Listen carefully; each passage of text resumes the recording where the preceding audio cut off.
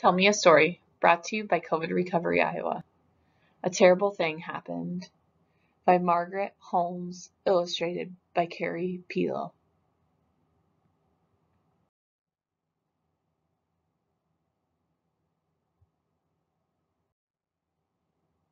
To all children who struggle with the aftermath of tragedy, and to their dedicated caregivers, MMH. To Ruth Gold, for her dedication to helping children, CP. Sherman Smith saw the most terrible thing. He was very upset. It really scared Sherman to see such a terrible thing. Sherman did not like feeling so afraid. He did not want to remember what happened, so Sherman decided not to think about the terrible thing he saw. Sherman thought that would make him feel better. At first, the plan seemed to work.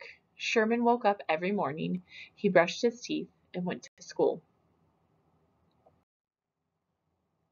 Sherman played with his friends, he teased his sister, and he walked his dog.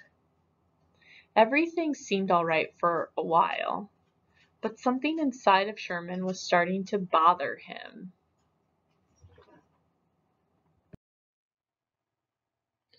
Sherman had to play more, run faster, and sing louder in order to forget the terrible thing he saw. Other things started happening to Sherman, too. Sometimes he did not feel hungry. Sometimes his stomach hurt or his head hurt. Sometimes he felt sad, but he did not know why. Sometimes he was nervous for no reason at all. Sometimes he did not sleep very well. Sometimes when he did sleep, he had very bad dreams. The bad dreams scared Sherman. All of these things made Sherman angry. It seemed like Sherman was angry all the time. Sherman started getting into trouble at school. Sometimes he felt so angry that he did mean things. Getting into trouble so often made Sherman feel bad.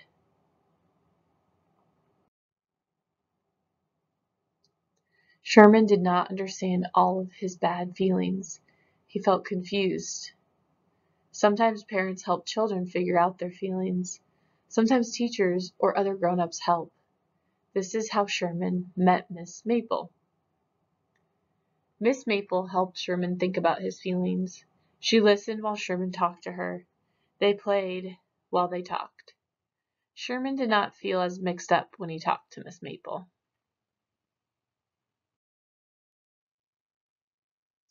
Once, when Sherman and Miss Maple were coloring, she told him to draw a picture of how he felt when he was angry.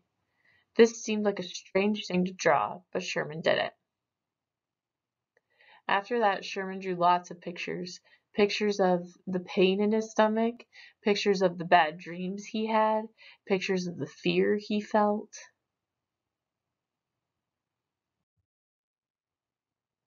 And at last, pictures of the terrible thing he saw. Sherman and Miss Maple talked about the pictures. He asked if the terrible thing he saw was his fault. Sherman said he worried a lot about that. No, Miss Maple told Sherman, it was not your fault.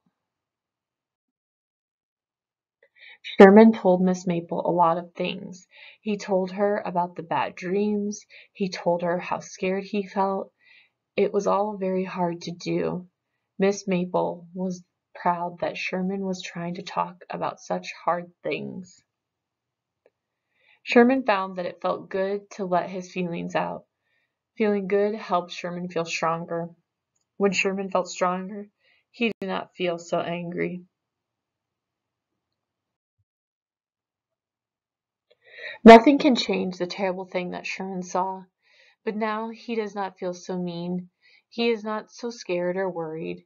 His stomach does not hurt as much and the bad dreams hardly ever happen. Sherman Smith is feeling much better now. He just thought you would want to know.